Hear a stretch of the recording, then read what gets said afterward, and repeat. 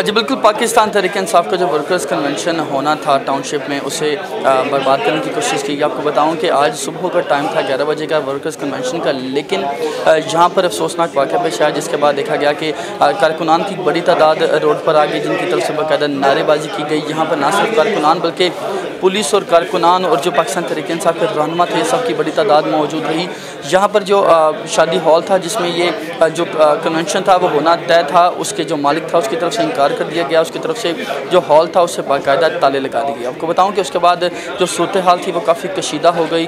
جو کارکنان تھے، پاکستان تحریک انصاف کے، ان کی طرف سے باقاعدہ نعرے بازی کی گئی۔ اس کے بعد باقاعدہ پولیس کی جو بھاری نفری تھی، وہ بھی موقع پر پہنچ گئی۔ اس وقت ہم موجود ہیں امپیریل جو مارکی ہے، جو شادی ہال تھا جس کے بارے میں کہا جا رہا تھا کہ وہاں پر پی ٹی اے کا جو ورکرز کنونشن وہیں پر ہوگا، لیکن وہاں پر نہ ہو سکے اس وقت ہم اس کے اندر موجود ہیں اور یہاں پر ہمارے ساتھ پاکستان تحریک انصاف کے رہنماؤں کی بڑی تعداد موجود ہے ان سے بات کرتے ہیں، جانتے ہیں کہ وہ اس حوالے سے کیا کہتے ہیں؟ محمد مندی صاحب، شکریہ، مجھے یہ بتائیے گا کہ جو ایک مقصد تھا جو حملہ کیا، اس حوالے سے کیا کہتے ہیں؟ کون ذمہ دار ہے اور کیا وہ کامیاب ہو سکے؟ دیکھیں، وہ تو آپ کے سامنے ہی ہیں۔ یہ تو جتنے بھی شرکا تھے، میڈیا کے لوگ تھے، آپ سب جانتے ہیں کہ یہ نون لیگ کے جو ہے گلو بٹوں نے یہ کام کرا۔ پہلے آ کے یہاں پر ہال کے اندر حملہ کیا ہے، مجھے بتایا گیا ہے، اور اس کے بعد جو ہے باہر بدتمیزی کی گئی ہے۔ اور پولیس بھی جو ہے وہ پی ٹی اے کے ورکرز کو جو ہے وہ دمکا رہی تھی۔ تو یہ یہ جو طریقے ہیں، یہ میرے خیال ہے شارٹ ٹرم ہیں اور ان شاء اللہ تعالیٰ پوری قوم کی امید جو ہے پناما لیگز پہ لگی ہوئی ہے۔ اور ان شاء اللہ تعالیٰ جو کرپشن کا جو ظلم کا نظام یہاں پر رچایا گیا تھا، اس کا ان شاء اللہ یوم حساب آیا کھڑا ہے۔ ان شاء اللہ پاکستان میں ایک صبح جو ہے وہ ہاں جی بالکل آپ نے دیکھا تھے یہ تھے ہمارے ساتھ موجود محمد مدین کا کہنا تھا کہ جو ظلم کا ایک پہاڑ ہے، وہ ٹوٹنے جا رہا ہے۔ بالکل وہ دن آگے ہے، جب حساب ہوگا ہمارے ساتھ پاکستان تحریک صاحب لاہور اربن کے پریزیڈنٹ ولید اقبال صاحب بھی موجود ہیں، ان سے جانتے ہیں۔ ولید صاحب، یہ بتائیے گا کہ جو مقصد تھا، کیا وہ پورا ہو سکا؟ ورکرز جو کنونشن تھا، وہ تو روڈ پر بھی ہو گیا۔ یہ بتائیے گا، ذمہ دار کون ہے؟ جی مقصد ہمارا پورا ہو گیا۔ ہم نے اپنے کنونشن کو نہیں روکا اور یہ رات ہی کو ہمارا فیصلہ ہو گیا تھا۔ جب مجھے اطلاع ملی تھی۔ میں تو خیر میزبان نہیں تھا، میزبان کا مجھے کال آئی بطور صدر کے انہوں نے مجھے کہا کہ یہ ہو رہا ہے اور ان کی آنکھوں کے سامنے ہو رہا تھا۔ وہ یہ دھمکی دی گئی کہ اس جگہ کو آگ لگا دیں گے۔ سو ظاہر ہے، یہ جو اپنا مارکی اور اس طرح کی جگہوں کے مالک ہوتے ہیں، وہ کاروباری لوگ ہوتے ہیں، وہ پریشر میں اور خوف میں ان کو۔ ہم نے پھر یہ کہا کہ جی یہ ہو نہ ہو، بند ہو، کھلا ہو، ہم نے یہ کر لینا۔ لوگوں کو اتنی دعوت جا چکی تھی، ہزار لوگوں کو یہ کیا۔ اور راتوں رات تو اب ان کو نہیں واپس ہم بیچ سکتے۔ تو ہم نے کہا، ہم جہاں بھی ہوگا، ہم باہر کر لیں گے۔ تو ہم نے کر لیا جی۔ شکر ہے اللہ کا جی۔ اور ناشتہ کر رہے ہیں لوگ لسی پی رہے ہیں۔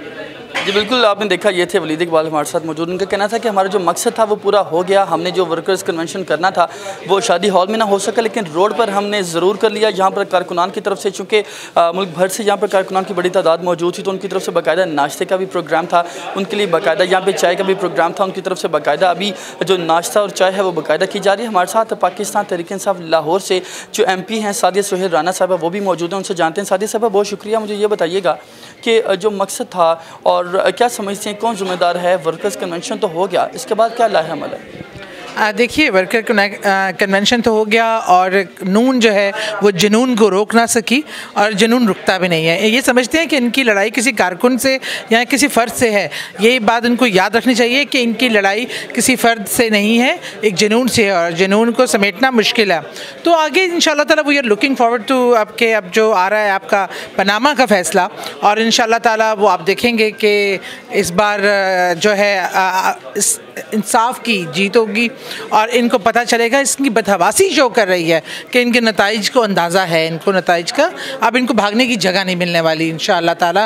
یہ ان کے رویے، وہ جاوید لطیف صاحب ہوں، زعیم قادری صاحب ہوں، ان کے رویے چیخ چیخ کے بتا رہے ہیں کہ وہ جو کہتے ہیں نا، جب چونٹی کی موت آتی ہے تو اس کو پر لگ جاتے ہیں، انہیں پر لگے ہوئے، وہی والا ہے۔